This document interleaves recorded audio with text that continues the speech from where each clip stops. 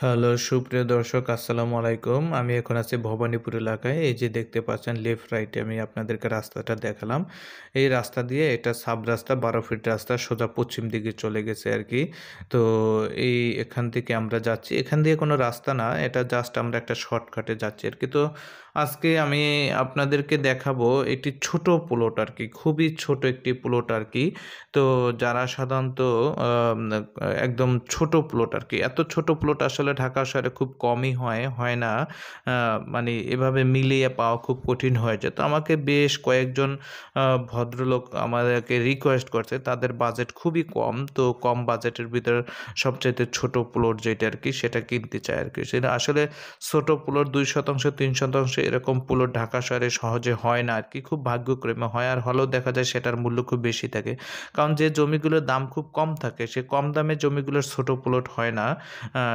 সেই কম দামে জমিগুলো সাধারণত বেশি বড় প্লট হয় আর কি। তো এই যে দেখতে পাচ্ছেন, এখানে জমিটি আর কি বাম পাশে। তো আমি এটা দেখাচ্ছি, এখান দিয়ে একটা রাস্তা যাবে আর কি এই জমিতে আর কি আপনার ওই দিকে চলাচলের জন্য। তো এই যে দেখতে পাচ্ছেন, বাম দিকে যে এই যে আমার পুরো ফ্রেমটার ভিতরে যে জমিটা, এখানে আর কি আপনার তিন শতাংশ জমি বিক্রি হবে আর কি এই প্লটটা এখানে ওই যে বাঁশের চেস মানে বাঁশের কুচি দেখতে পাচ্ছেন। ওখান থেকে শুরু করে আমার পুরো ফ্রেমের মধ্যে আর কি এই যে এই যে বাঁশের কুচা বেড়া দেওয়া।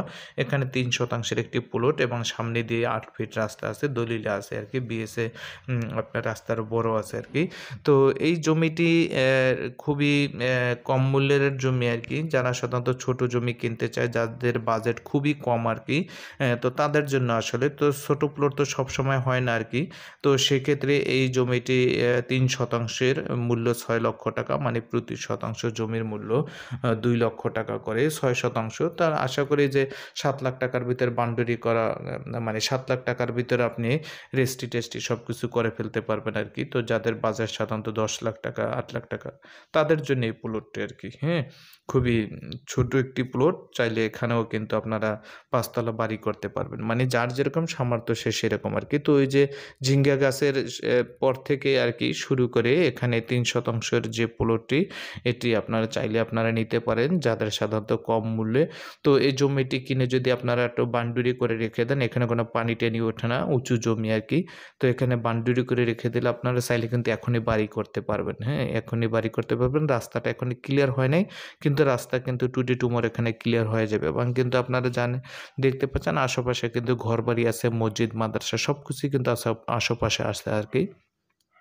তো এই যে পুরো প্লটটা আমি দেখানোর চেষ্টা করছি আর কি। তো এখান থেকে এই যে বাঁশের চিত্র দেওয়া, এখান থেকে আর কি শুরু আর কি তিন শতাংশ করে এবং এখান দিয়ে আট ফিট একটি রাস্তা যাবে উপরে আর কি। যে রাস্তা দিয়ে আমরা ঢুকেছি সাব রাস্তা বারো ফিট ওই রাস্তায় গিয়ে আর কি আপনার এটার সাথে ই হবে, মিলিত হবে আর কি। এখান থেকে এখান থেকে সরাসরি আট ফিট রাস্তা যাবে এবং এটা দলিল এবং বিএসএ কাটা আছে আর কি। তো এই যে দেখতে পাচ্ছেন, এই হলো জমির প্লটটা এই যে বাঁশের চিউরিরা এই যে এতটুকু প্লটই আপনার এই যে তিন শতাংশের প্লটটা, ঠিক আছে? তো আশেপাশের ভিউটা আমি একটু দেখাচ্ছি, আশেপাশে কিন্তু ঘর বাড়ি আছে আর কি লোকজন থাকে আর কি, এবং এখানে আপনি চাইলেই কিন্তু এখনই কিন্তু বাড়ি করতে পারবেন। তো আমি একটু এখন উপরে চলে যাচ্ছি আর কি, তো আপনাদের দেখানোর জন্য আমি দেখালাম, এবং এখান দিয়ে একটা রাস্তা যাবে এবং এই যে রাস্তাটা এখানে বারো ফিট রাস্তা, এই রাস্তায় আপনার ওই রাস্তাটা অ্যাড হবে। জমি থেকে আট ফিট রাস্তা এসে আর কি, এই রাস্তার সাথে আপনার অ্যাড হবে। তো এই রাস্তা আরও ভবিষ্যতে আরও অনেক বড় হবে। তো আপনাদের বাজেট যাদের এইরকম আর কি আর দশ লাখ টাকা যাদের বাজেট তাদের কিন্তু এই জমিটি নিতে পারেন। তো আসলে এইসব প্লট সবসময় ঢাকা শহরে অ্যাভেলেবেল থাকে না আর কি ছোট প্লট তো সেই জন্য আপনাদেরকে বলি, যাদের বাজেট খুব কম এবং কম দামে আপনার জমি কিনতে চান, তাদের জন্য এই জমিটা খুব ভালো হবে। কারণ ঢাকা শহরে কোনো জমি আপনার পরে থাকবে না আর কি অবশেষে বেশি দিন গেলে ভালো জমি পাওয়াটা খুব কঠিন হয়ে যাবে। এখানে কিন্তু মাদ্রাসা আছে বাম পাশে। আপনার মাদ্রাসা আছে খুব সুন্দর। এই যে দেখেন, মাদ্রাসা ব্যানার, তো স্কুল, কলেজ, মাদ্রাসা সব কিছু আছে এলাকাতে যারা নিতে আগ্রহী, তারা অবশ্যই আমাদের সাথে যোগাযোগ করবেন। আপনাদের সকলে সুস্বাস্থ্য কামড়কে এখানে বিদে আল্লাহ হাফেজ।